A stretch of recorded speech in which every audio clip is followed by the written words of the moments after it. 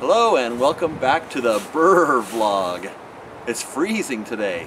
It's about 38 degrees Fahrenheit. For those of you outside the United States, that's about 3 degrees Celsius. So what do the bees do to cope with weather like this? Well, they ball up into a cluster inside the hive and they share their heat. The bees in the center of the cluster get closer together Unfortunately, there's comb that's in the way. So what they do is they go inside the comb. They actually go headfirst into the cells to fill that gap in. And they tighten that cluster up really tight into a nice little ball. And the bees in the center vibrate to generate heat. And that heats up the whole cluster.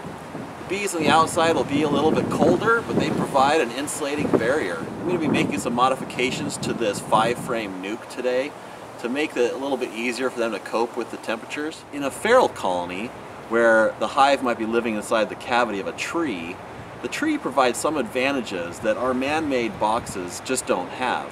So let's jump on over and take a look at a bee tree and see if we can identify some of those differences. Now here's my favorite bee tree. Unfortunately, from the outside, all we can see is just this crack that's an opening. I can stick the camera in there and see some bees. That's really cool.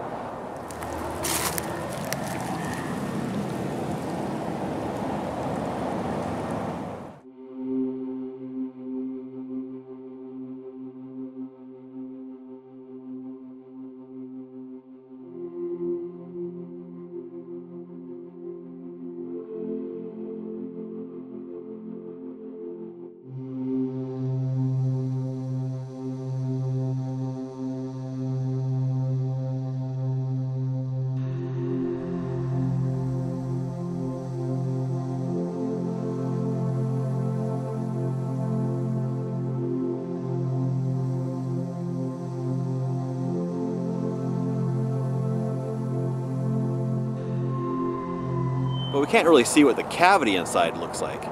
If we were to take a cross section of the tree and take a look at the cavity, we wouldn't see something that looks like our hives, the tiny square boxes. We would see an irregular shape with thick walls for better insulation, but most importantly, the ceiling would not be flat like our hives. It would probably be domed, or maybe even a V shape or a wedge. This is very important when we're considering condensation inside the hive. With a V shape or a domed surface, we don't have anywhere for the condensation to gather and rain down on the bees. It would just flow down the walls. There's another advantage that these trees have over our little boxes, and that's the inside surface of the cavity is very rough, and the bees want to apply propolis to that. What propolis is, is it's a tree resin or plant resins that the bees harvest and they bring in. They don't eat it, but they apply it to all the surfaces and it provides an antifungal or antimicrobial barrier and that helps to improve the health of the bees. If we could do something like that to our own hives, maybe that would be very helpful to the bees. So let's head back to our hives. So let's take a look at some of the things that I've done to this box to try to mimic or at least make up for the fact that we just don't have these advantages that a tree has. First of all, the way I have this stacked is up at the top here is a box of just honey down in the second box was their brood chamber, and it had a little bit of honey as well. But most of this at this time of year will be empty comb, something for them to cluster in. And down at the bottom, it's completely empty. There are frames down there, but they didn't draw out any comb in them.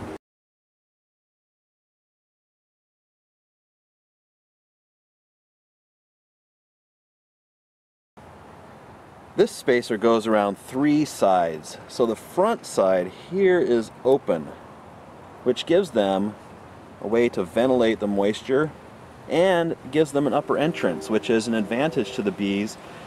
In the cold winters, sometimes it's easier for them to exit out the top instead of the bottom to take their cleansing flights. Here in Portland, Oregon, insulating the hives is not as important as controlling moisture. We have very wet winters, and although it's sunny and dry right now, it's really cold. And tomorrow we're expected to get a storm that's going to bring either snow or freezing rain. Let's cross our fingers for snow. Freezing rain is not a good thing. It causes limbs to break off of trees and can cause a lot of damage. But for the hive, what I need to do is to help control moisture. Specifically, I want to reduce condensation on the inner side of the lid. This lid is only three quarters of an inch thick and doesn't insulate really well. So that's a very cold surface for the bees.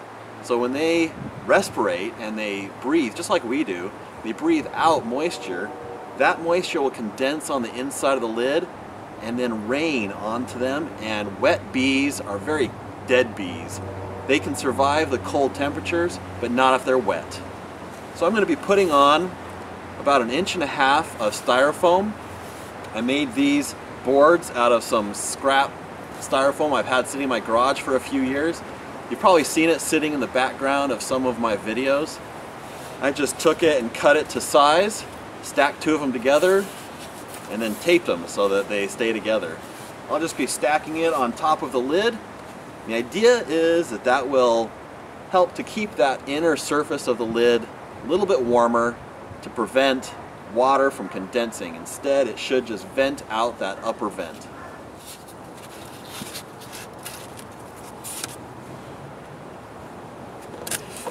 By using a brick and a strap, I can hold that styrofoam piece down so it doesn't blow away.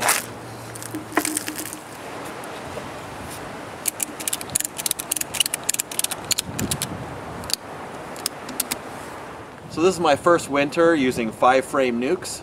We'll see if some of these modifications help and if this works and if they survive the winter. Thanks for watching.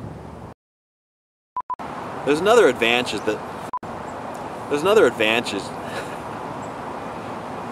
I also have the hive tilted so that if water does condense on the inner surface of the lid, and now it's just too windy, you probably can't hear me,